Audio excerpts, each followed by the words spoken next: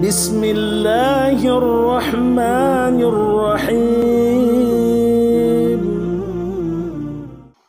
بسم الله الرحمن الرحيم عن عبد الله ابن عمر رضي الله عنهما قال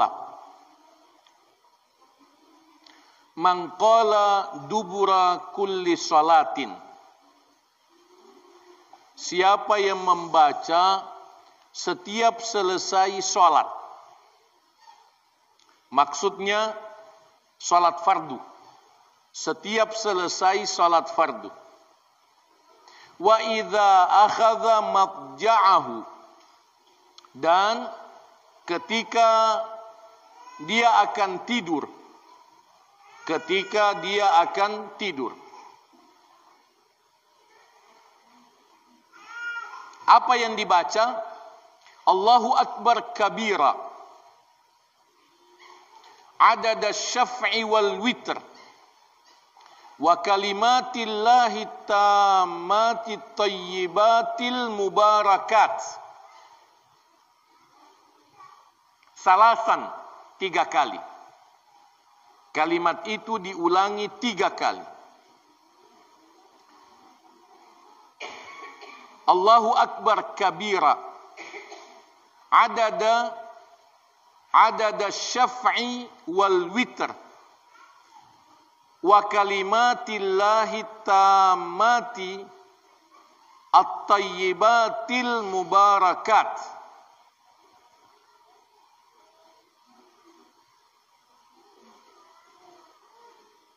wa la ilaha illallah mithla dhalik itu juga dibaca seperti itu. La ilaha illallah adada syaf'i wal witr wa kalimatillahi tammati tayyibatil mubarakat. Diulangi juga tiga kali.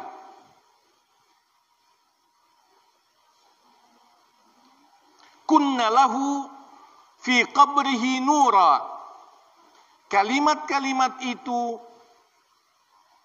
menjadi cahaya baginya di kuburan. Menjadi cahaya baginya di kuburnya. Wa alal jisri nura menjadi cahaya baginya di jembatan. Wa alas sirati nura dan menjadi cahaya baginya di titian. Di titian. Hatta yudkhilnahul jannah sampai kalimat-kalimat ini memasukkan dia ke dalam syurga. Au yadkhulal jannah atau perawi mengatakan atau dia masuk syurga. Artinya diberikan cahaya sampai dia masuk syurga. Wahada isnadun sahih ini juga disahihkan oleh Syekh Nasiruddin Al-Albani dalam kitab As-Silsilah As-Sahihah.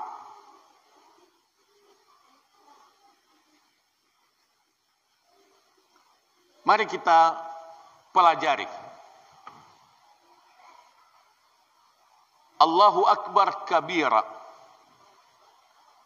Allah Maha besar dengan sangat besar. Allahu Akbar kabira, Allah Maha besar dengan sangat besar. Adada syaf'i wal witr. Saya membaca Allahu Akbar kabira sebanyak semua yang ganjil, semua yang genap dan ganjil sebanyak semua yang genap dan ganjil. Maksudnya sebanyak semua makhluk Allah. Makhluk Allah ada yang genap dan ada yang ganjil. Sebanyak semua bilangan, semua hitungan. Semua hitungan ada yang genap dan ada yang ganjil. Wa kalimatillahi tammati tayyibatil mubarakat. Sebanyak kalimat-kalimat Allah yang sempurna yang baik yang diberkahi.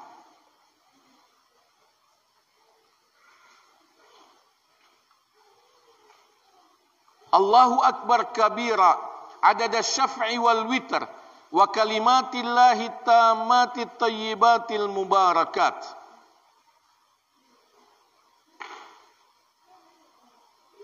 Kemudian la ilaha illallah. Saya membaca la ilaha illallah. Adada syaf'i wal witr. Sebanyak semua yang genap dan ganjil. Wa kalimatillahi tammati tayyibatil mubarakat sebanyak kalimat-kalimat Allah yang sempurna yang baik dan yang diberkahi kalimat-kalimat Allah itu lebih banyak dari delapan lautan lebih banyak dari delapan lautan yang ada di dunia ini. Artinya laut di seluruh dunia ditambah tujuh lagi laut yang sama dengan di seluruh dunia. Kalimat-kalimat Allah lebih banyak dari semua itu. Bayangkan itu kalimat-kalimat Allah yang sempurna dan baik yang diberkahi. Kita membaca Allahu Akbar sebanyak itu. Kita membaca La ilaha illallah sebanyak itu. Balasannya adalah cahaya di kuburan, cahaya di jembatan, dan cahaya di titian.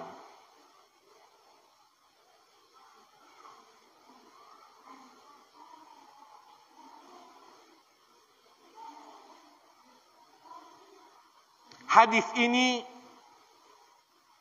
mauquf. Artinya ini adalah asar ucapan Abdullah bin Umar radhiyallahu anhuma. Akan tetapi para ulama meyakini bahawa ini pasti bersambung kepada Rasulullah sallallahu alaihi wasallam. Abdullah bin Umar tidak mungkin mengucapkan hal ini tanpa dasar dari Rasulullah sallallahu alaihi wasallam. Jadi memang Abdullah bin Umar radhiyallahu anhuma tidak menyebutkan bahawa ini adalah sabda Rasulullah sallallahu alaihi wasallam. Tapi para ulama meyakini bahawa dalam pembahasan sesuatu yang gaib tidak mungkin. Para sahabat mengajarkan sesuatu yang gaib tanpa ada dasar dari Nabi sallallahu alaihi wasallam. Apalagi Abdullah bin Umar radhiyallahu anhuma adalah seorang sahabat yang paling dikenal di antara semua sahabat yang sangat memperhatikan Uh, hadis-hadis uh, dan pengamalan-pengamalan Rasulullah sallallahu alaihi wasallam. Coba renungkan Abdullah bin Umar radhiyallahu anhuma biasa jalan di satu tempat hanya karena berharap kakinya menginjak bekas telapak kaki Rasulullah sallallahu alaihi wasallam. Beliau tahu Rasulullah pernah berjalan di sini sallallahu alaihi wasallam. Abdullah bin Umar sengaja jalan di situ. Mudah-mudahan kakinya bisa menginjak apa yang pernah diinjak oleh Rasulullah sallallahu alaihi wasallam. Abdullah bin Umar radhiyallahu anhuma singgah di satu tempat untuk buang air kecil bukan karena ingin buang air kecil tapi karena Rasulullah sallallahu alaihi wasallam pernah buang air kecil di situ, maka dia berusaha untuk buang air kecil di situ juga. Itu Abdullah bin Umar radhiyallahu anhu. Abdullah bin Umar radhiyallahu anhuma. Seorang sahabat yang sangat terkenal yang berbeda dengan para sahabat lainnya di dalam uh, berbeda dalam arti kata sangat menonjol di dalam mengikuti sunnah Rasulullah sallallahu alaihi wasallam. Beliau yang meriwayatkan ini. Beliau yang meriwayatkan hadis ini. Tidak mungkin bahwa ini adalah pendapat pribadi beliau. Karena ini mengabarkan tentang yang gaib. Jadi yang penting bahwa riwayatnya sahih. Sanatnya sahih. Maka uh, para ulama meyakini bahwa matannya itu bersumber dari Nabi sallallahu alaihi wasallam. Kita baca sama-sama. Allahu akbar kabira. Adad asy-syaf'i wal witr. Wa kalimatillahi tammati tayyibatil mubarakat.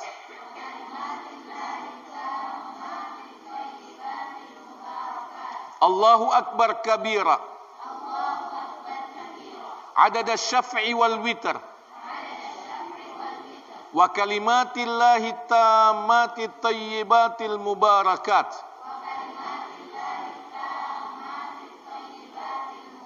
الله أكبر كبيرا. عدد الشفع والوتر. وكلمات الله التامات الطيبات المباركات.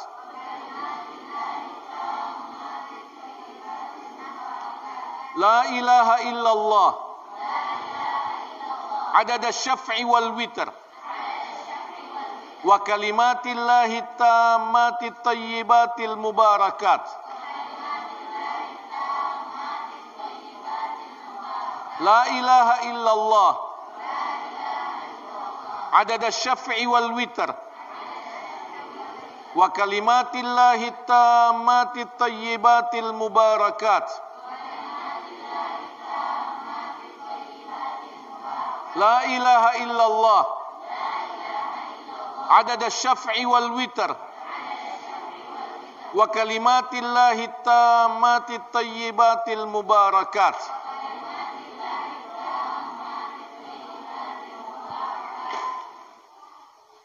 Itu kita baca sesudah selesai semua zikir ba'da salat. Sesudah kita baca kul a'udzu birabbin nas, baru ini dibaca. Iya, tiga tadi tiga kali, tiga kali. Tiga kali Allahu Akbar kabira, tiga kali juga la ilaha illallah. Sebagaimana yang kita contohkan tadi. Yang kedua, ini juga dibaca tiga kali, tiga kali menjelang tidur. Menjelang tidur. Bisa bacaan awal, ini dibaca bisa juga bacaan pertengahan menjelang tidur bisa juga bacaan paling akhir. Bisa juga paling akhir. Allahu akbar kabira wa kalimatillahi tammati tayyibatil mubarakat. Tiga kali la ilaha illallah ada ada syaf'i wal witr wa kalimatillahi tammati tayyibatil mubarakat juga tiga kali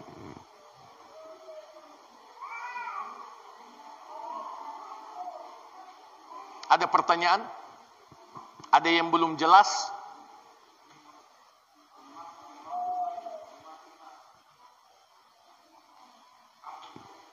Kalimat-kalimat Allah. Kalimat-kalimat Allah bermakna apa yang tertulis di Lauhil Mahfuz. Kalimat-kalimat Allah bermakna ucapan-ucapan Allah. Firman-firman Allah. Ketentuan-ketentuan Allah. Itu yang tertulis di lauhil mahfud. Itu yang tertulis di lauhil mahfud. Semua semua yang akan terjadi semua tertulis di lauhil mahfud. Semua yang sudah terjadi ditulis tertulis di lauhil mahfud. Server servernya Allah Subhanahu wa taala. Yang besarnya besarnya itu lebih banyak dari lautan di seluruh dunia ditambah tujuh lagi seperti itu. Lautan di seluruh dunia ditambah tujuh lagi lautan di seluruh dunia seperti itu. Delapan kali lipat itu masih lebih banyak kalimat-kalimat Allah. Jadi itu adalah ungkapan yang tidak terbatas. Tidak bisa dihitung jumlahnya. Wallahu ta'ala a'lamu bissawab. Yang pertama diciptakan oleh Allah al-qalam. Awwalu ma khalaqallahu al-khalqa khalaqal qalam. Makhluk pertama diciptakan oleh Allah pena. Kemudian Allah berfirman kepada pena. Catat. Pena, tulislah. Semua yang akan terjadi. Semua yang akan terjadi. Sampai dunia kiamat. Semua yang akan terjadi sudah ditulis di lauhil mahfud. Sehingga bahwa apa yang kita jalani dalam kehidupan kita ini sudah ditulis 50 tahun sebelum kita lahir. 50 ribu tahun sebelum kita lahir. Apa yang kita jalani dalam kehidupan. Siapa nama kita, siapa namanya anak tak, siapa namanya calon cucu tak, itu sudah ada tulisannya semua yang kita jalani ini sudah ditentukan oleh Allah Tabaraka wa Ta'ala. 50 ribu tahun sebelum kita lahir. Bayangkan, itu semua sudah ditulis. Jadi banyak memang banyak sekali. Sangat banyak. Bukan hanya kita tapi takdir semua makhluk. Takdir ketetapan semua makhluk. Nah, takdir inilah yang diperbaharui setiap Lailatul Qadar. Takdir tahunan. Takdir setiap tahun. Yang diperbaharui pada Lailatul Qadar. Tanazzalul malaikatu warruhu fiha min kulli amr. Biizni biizni rabbihim min kulli amr.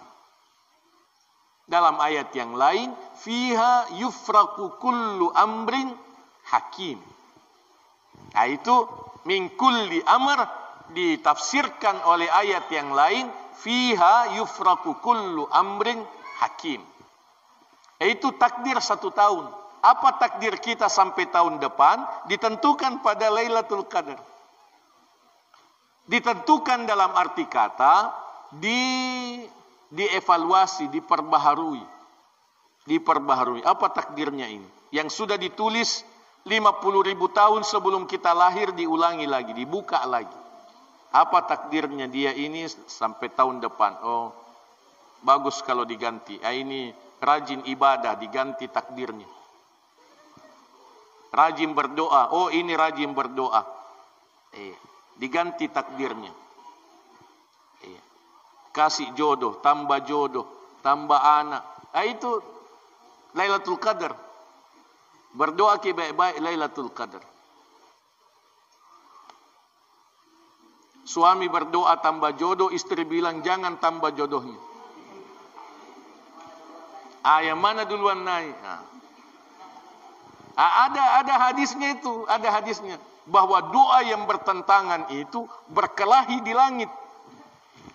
Doa yang bertentangan itu berkelahi di atas. Berkelahi. Siapa yang lebih kuat, ah, itulah yang menang. Itulah yang menang. Karena ada dua doa yang bertentangan. Ada dua doa yang bertentangan. Ada yang mendoakan sesuatu yang satu tidak setuju dengan doa itu bertentangan di atas. Di atas berkelahi. Ya ta'ala jani. Bergelut. Itu siapa yang menang itulah yang dikabulkan oleh Allah Tabaraka wa ta'ala. Itu kekuatan doa.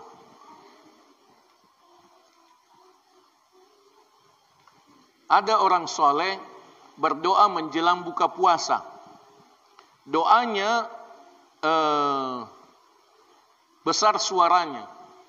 Ya Allah, karuniakanlah jodoh saudaraku. Karuniakanlah jodoh saudaraku yang belum punya jodoh. Dia sebut namanya. Saudaranya yang dia sebut namanya. Lalu istrinya marah. Dia bilang, eh, tidak ada tidak ada doa lain. Bilang, kena, nah saudaraku saya mintakan jodoh. Dia bilang, iya tapi malaikat mengatakan, amin walakam bimisal. Amin dan kamu juga dapat apa yang kamu doakan.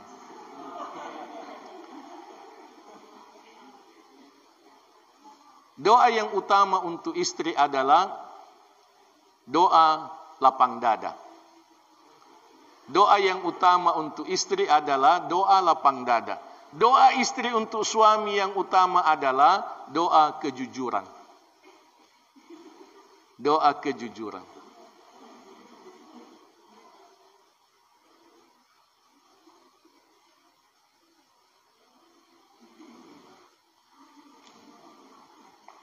Terima kasih. Sudah? Ada lagi pertanyaan lain? Tentang zikir tadi. Ya. ya.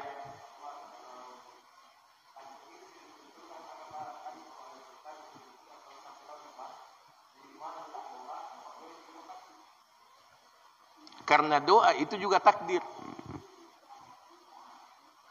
Allah sudah menentukan. Allah sudah menentukan bahawa pada hari Sabtu tanggal sekian kamu akan berdoa dengan doa ini dan doa itulah yang dikabulkan. Kita tidak berdoa kalau bukan takdir. Makanya hidayah, doa hidayah itulah yang utama. Biar kita malas, biar kita malas, yang penting kita rajin berdoa, minta hidayah. Allah akan menunjukkan supaya kita tidak malas. Allah akan merubah keadaan kita. Bukan berarti biar kita malas maksudnya malas betulan. Tidak. Maksudnya masih malas. Kita masih malas sekarang tapi jangan malas berdoa. Jangan malas berdoa. Jangan malas berdoa minta hidayah. Minta hidayah karena Allah Maha Kuasa. Kita banyak berbuat dosa. Tapi jangan jangan berhenti doa minta minta hidayah. Karena Allah akan mengabulkan doa kita minta hidayah. Lewat itu, lewat doa itu Allah akan berikan hidayah kepada kita. Begitu juga dengan orang yang kita cintai, dia masih nakal, dia masih ini, dia masih suka berbuat dosa, doakan, doakan. Doakan. Seperti itu.